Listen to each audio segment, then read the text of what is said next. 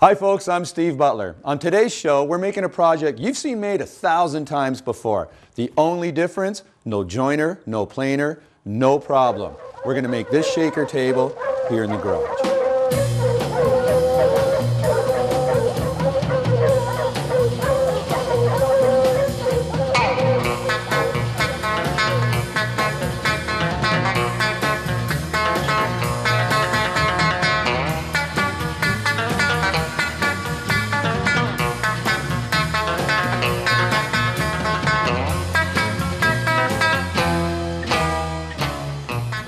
All right, when we think of shaker, we think of simplicity, nice, delicate, clean lines. This table project has four nice, delicate, tapered legs.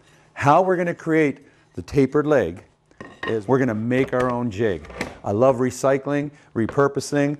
I'm gonna use some of my offcuts for my plywood scraps. I'm gonna take a couple of hold down clamps and that's what's gonna hold the leg in place. Um, all the woodworking catalogs, you can buy a commercial tape, tapered leg jig, which basically just helps you hold and cradle the leg. This is a hinge so that you can create any taper you want and it rides against the fence on the table saw. We're going to build our own, which is specific for this project. Um, I'm using off-the-shelf dimension lumber. This happens to be an inch and an eighth thick. So our legs are inch and an eighth thick at the top, and they taper down to three quarters of an inch. The beauty of it also is it keeps the price really, really low. I can get all four legs out of one piece of wood. This cost me a couple of bucks at the home center. So we're going to start building our tapered leg jig. Real easy. Again, just grab some of my offcuts in the scrap bin. Now, you don't want a thick piece of plywood for the base. So you want to keep this relatively thin. In this jig, it's half an inch. That's not so bad. You just have to be aware of that. So what we're going to do is we're going to measure the thickness of our board, which in this case is an inch and an eighth thick. And we draw a line, inch and an eighth. And let me just use this leg as a guide and show you what I'm talking about here. I literally drew the taper of the leg on my plywood board. And then I'm going to take another offcut of plywood and I'm going to glue and screw it on right where my line is and you can start to see what's happening there. Our taper is right there. Let's go over to the saw and start building it. Um, no planer, no jointer, no problem. In order to make things, um, well-made things. Um, you don't need all the bells and whistles. You can buy lumber that's already dimensioned and maybe take a table saw or a saw and cut it to width, but you can use that thickness to create furniture. And uh, yeah, you don't need a jointer because it's already milled and flat and leveled. You don't need a planer because it's already thickness. Um, so therefore, no problem. You just need some way to make the joinery. Okay, we're at the table saw. I have my offcut of plywood that we're going to use for the base of our jig. Right here. You want it wide enough to accommodate the handles of the jigs. It's really the most important thing to worry about right there. So we have a nice straight edge on our plywood. And I'm just going to set this up at around seven inches. So I'm just going to cut this down to have a parallel edge.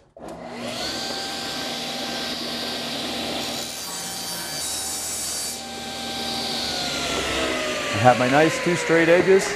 We have the base of our jig. Now the length of this board just happens to be about 37 inches long.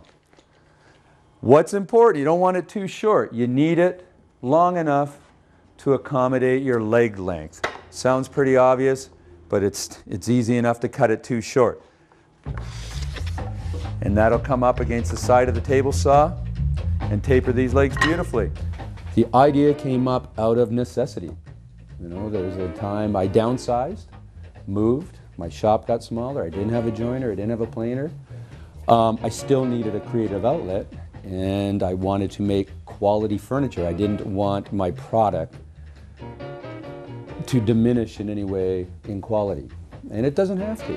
And I think a lot of people uh, worry about that. Oh, I don't have the best equipment and I can't do that because of this or that. And you can, you know. All right, we have our two pieces of plywood for our jig.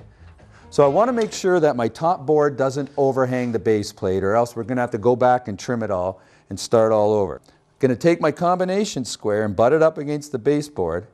I'm going to hold that in place, draw a line at the back and right there. That shows placement of my top board right off the back. I'm going to extend this line over, taking my square, draw a line, that is where I'm going to start measuring down the length of our leg.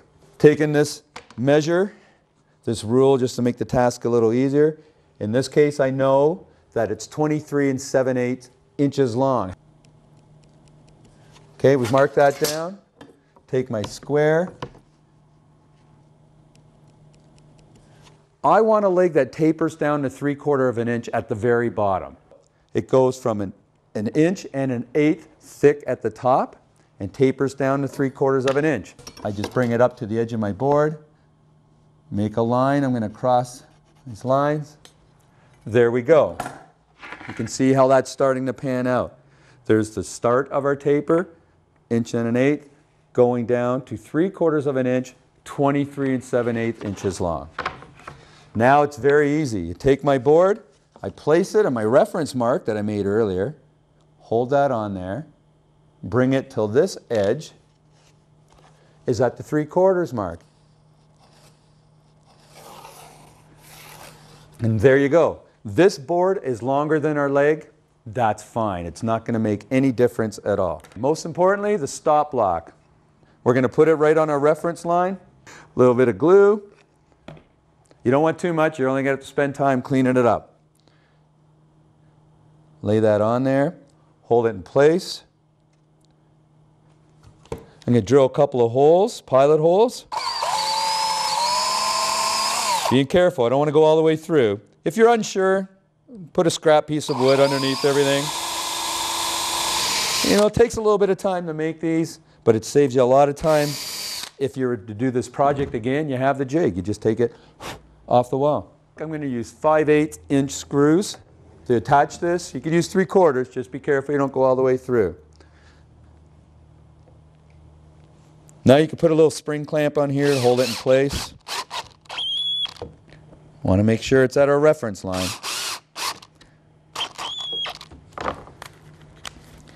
Perfect. Now if you have any squeeze out of glue here, that's why you don't need a lot of glue. You have to clean that up right away. If it dries, it's going to affect the leg and where it butts up against there.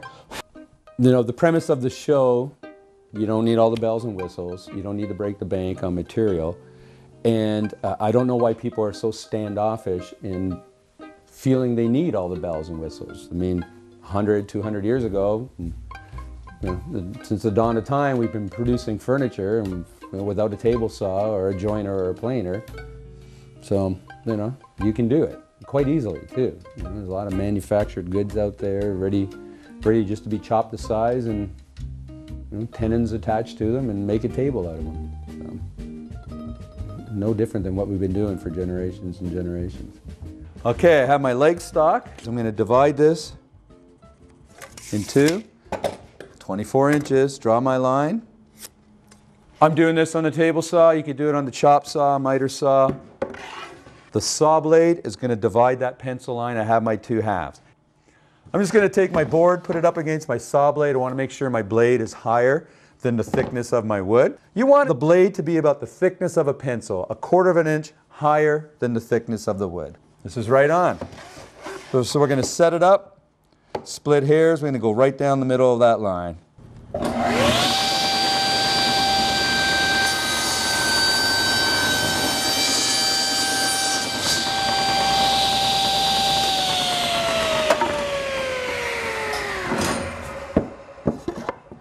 There we go.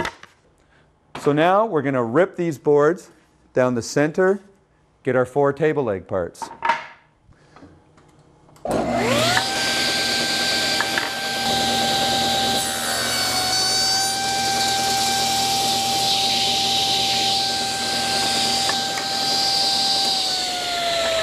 There we have it.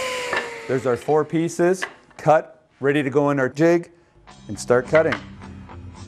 You know, we think of the Shakers as this utopian sect and it's all pure and I want to live that simple life, and yet they were the mothers of invention, literally. And then there was a list here of just some of the things they invented, accredited to the Shakers, and it, it's pretty, pretty phenomenal. Just like the, the swivel tilt on the bottom of a chair, the early tilt back chair, did that. The washing machine, the circular saw, the table saw was, was a sister shaker and invented it, you know, just as we know it today. Just all sorts of things. All right, we have our jig, glue's dried. We want to have a tapered leg, and we're going to have it taper on two sides. So we're going to make one cut, turn it over, make another cut, and we're going to have our tapered leg. Put our leg right up against our stop, clamp it down, make sure it's up against that fence. Now, my jig is seven inches wide.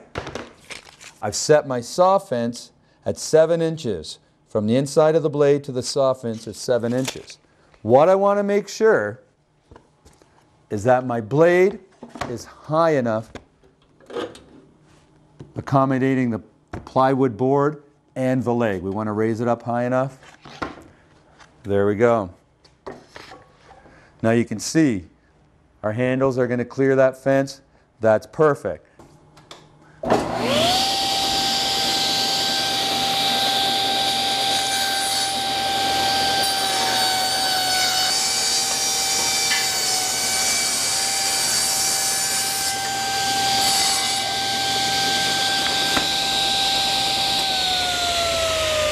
Now what I want to do is turn this over, clamp it back in place. I normally use the offcuts and use it as a clamp pad just because we have a taper here. Our clamp might not hold it down all the way. Okay, make sure that's up against our stop. I'm going to put this underneath our clamps just because we've created taper. I'm not putting it all the way over. I don't want it to cut into that. Press down, you can hear that snap in place. That's great.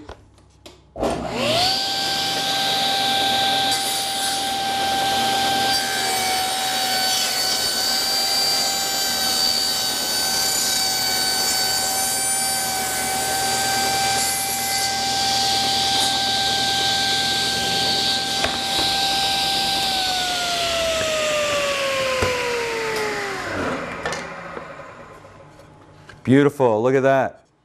Nice tapered leg. Tequila.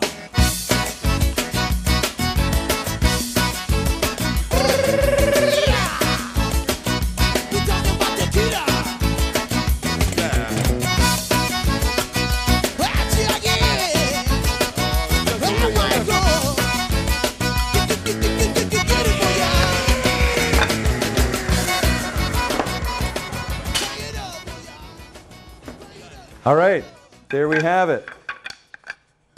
Four tapered legs using our taper jig that we used with offcuts, plywood offcuts in our scrap bin. Perfect.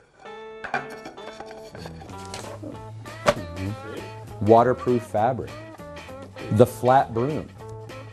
The shakers, the circular saw, the metal pen nib, the apple peeler, you know, self-acting cheese press, whatever that means. The wash mill, the chimney cap. I have this beautiful old pine tongue and groove floorboard that I'm going to use for the top. You know, it's recycling, reclaiming, it's beautiful. We just have to trim it, cut it to size, glue it up, and leave it in the clamps for about an hour. Now I've measured 18 inches, which is the finished size for the top. I'm just going to cut it a little oversized and uh, after it's glued up, we'll go ahead and trim it off square from there.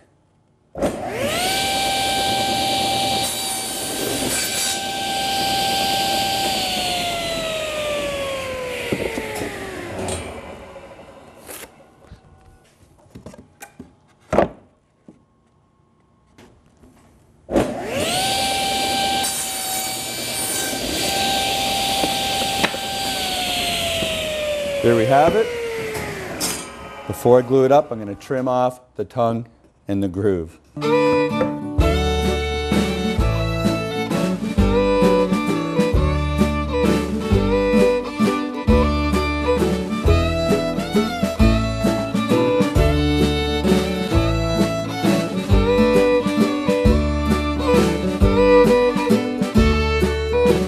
So there we go.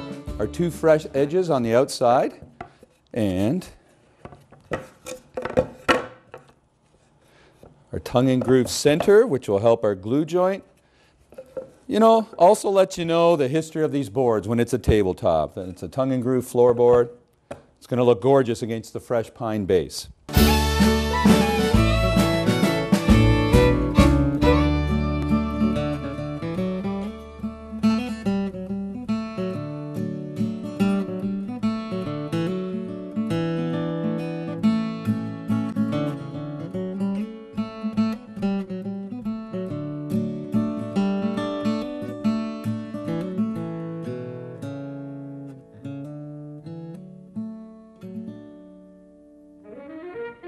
The top, um, I needed two pieces, so and they were nine inches each.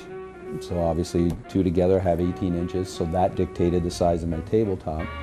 Um, but, I mean, it was thought out a little bit ahead of time. You know, I, I didn't want a squat, sort of monolithic looking table. So I, I, I, searched for materials and I had these boards and, and it worked perfectly. It was really nice. So it was a, a happy coincidence. I was at the home center, found these pine boards. I've measured my length, 13 and 3 eighths for two of them in this case, and I've just drawn a line, and I've lined up that line with the kerf, the cut of the blade on our jig here, and I'm just going to slide that along and cut it. What I'm going to do is put a little line on the end of this to make sure that all the pieces are the same length, but because I'm only cutting two of them, this line works just fine.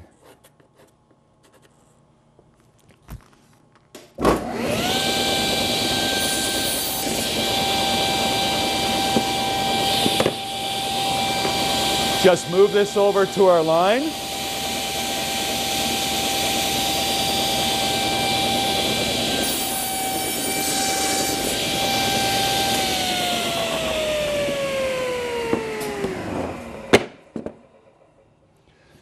And there we have it.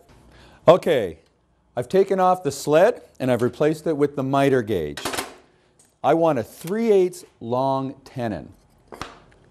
Now you have to remember that the saw blade is an eighth of an inch thick. I've set my fence a quarter of an inch away from the outside of the blade. So if a quarter of an inch and an eighth inch of the blade, I get my tenon length. Put my apron stock up towards the fence that's the furthest most distance. I can't make a mistake. I want a 3 8 long tenon, can't go past my fence.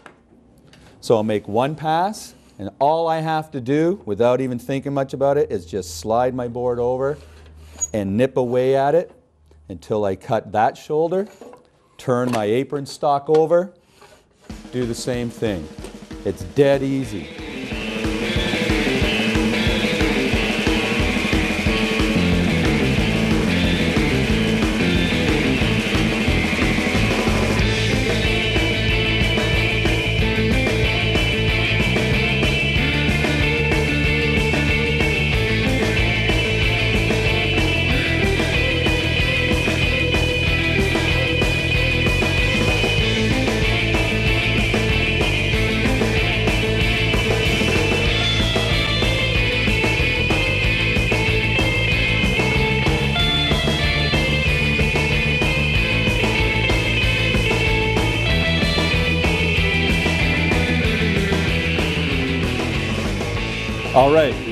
Our shoulders. If you're not comfortable nipping away at that after you make your first pass, you can just take a hand saw or go to the bandsaw if you have one and trim that. Again, this doesn't have to be exact. I like to make tables because they're more freeform. Um, you can be very experimental, freeform with tables. They don't have to fit into a certain area with close tolerances. You know, if you're out an eighth of an inch, so what? You're out an eighth of an inch you know, you can really play with them, you can carve the top, you can do whatever. Just, it just allows for more freedom. They're a lot of fun to make. On the top of our legs, now if you remember when we were cutting our legs, we had one side up against the fence of our taper jig. Well, that's where I'm going to cut the mortises. And just for ease of cutting, I've marked on the leg where I want my mortises cut. And you can see that's where our, our tenons for our aprons are going to fit in. So I am going to cut the mortise dead center.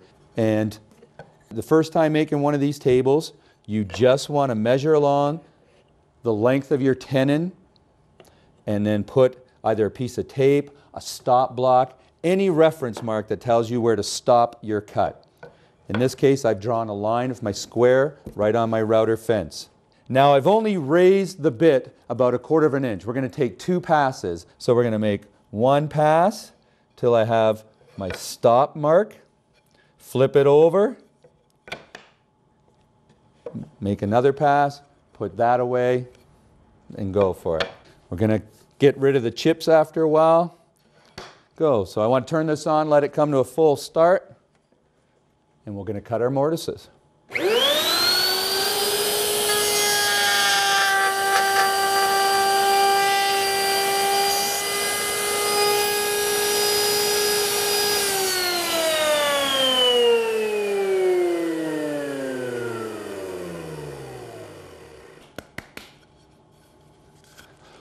Look at that. We have a nice quarter inch mortise. Of course, I have to take another pass to make it deep enough.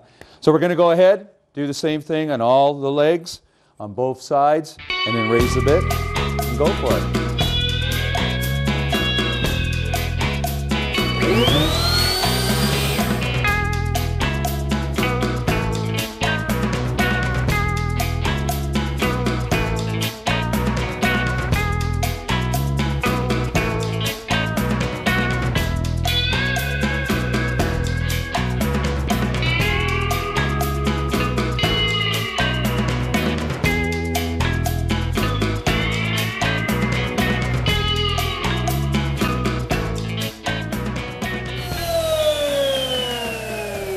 There we go.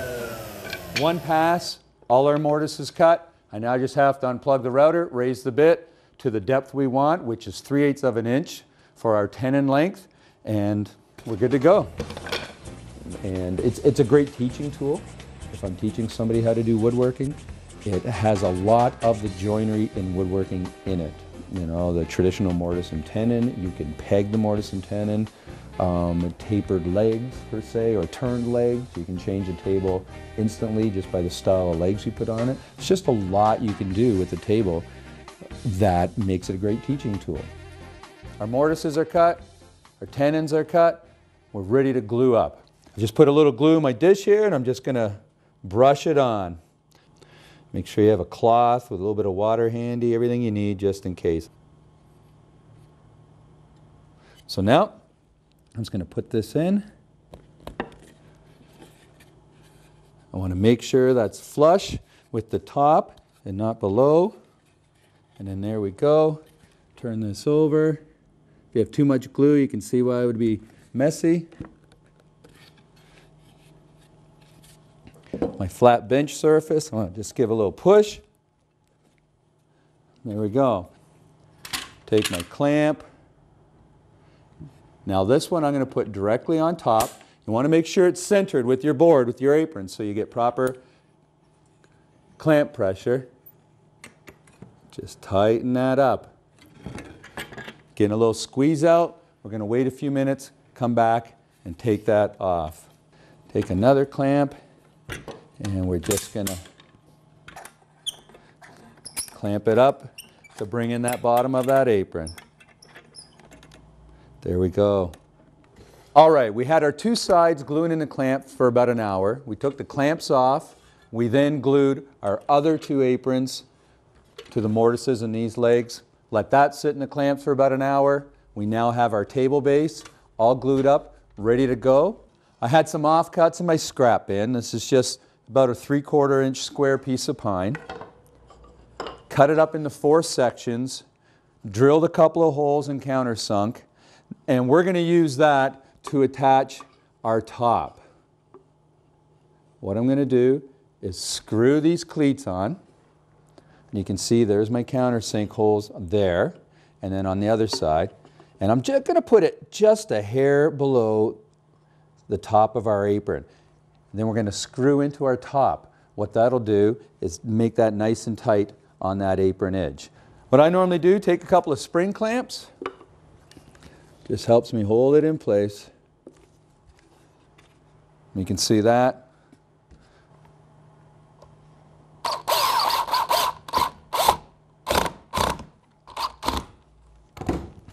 There we go. Just going to go around the perimeter, put the other ones on. Just get lay your base on here, and we're just going to get a visual and try to make this even all around. Think that looks great. So we're just going to go around, screw our cleats into the top, get that secure.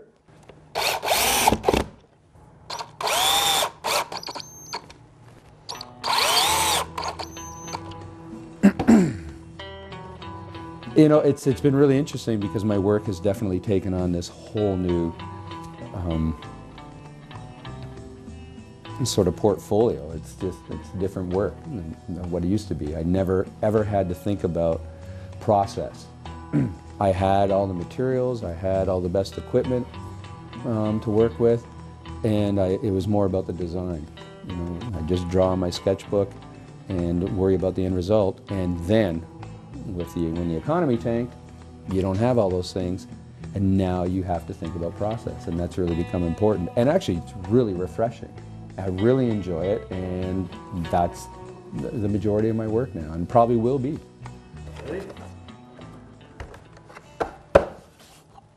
All right. As usual, I had a lot of fun making this project. There's many ways and techniques to make objects. We just covered a few here. We covered basic mortise and tenon joinery. We learned how to taper legs. We made our taper leg jig. And if you're going to taper your legs the whole length of it, remember to do your mortises first while they're square. A simple little project, it's been done a thousand times. The difference is no jointer, no planer, no problem. If you have any questions or comment, please get in touch with me at stevebutlerfurniture.blogspot.com.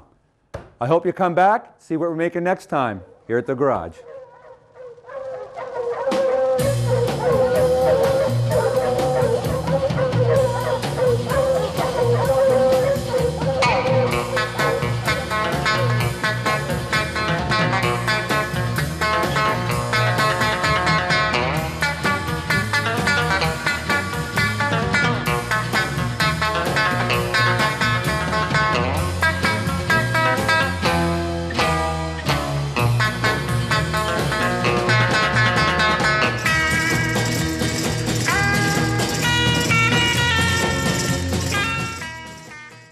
Comes from a really, really tiny dark place back here.